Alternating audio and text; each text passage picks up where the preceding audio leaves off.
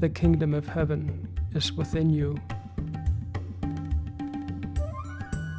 That highest state of consciousness,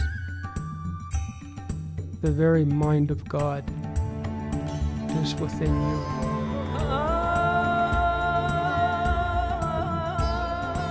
And regardless of what is happening in the external, inwardly you can experience that inner peace, that inner silence, that infinite divine love, that oceanic bliss, anytime that you would like.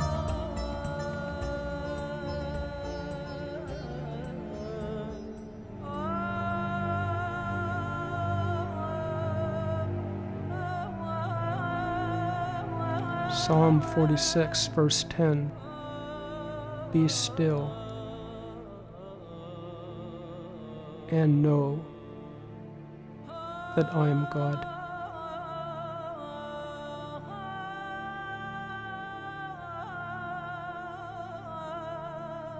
It doesn't say, get a PhD in theology, and then you know that I am God.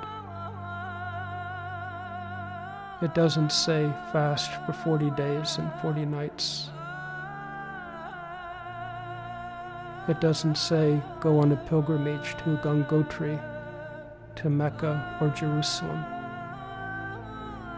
and then you'll have some divine understanding. It simply says, Be still.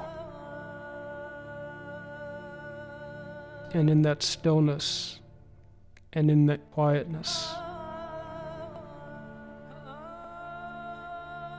that divine love, that divine creativity,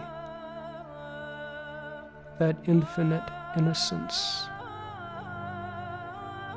that is as omnipresent as God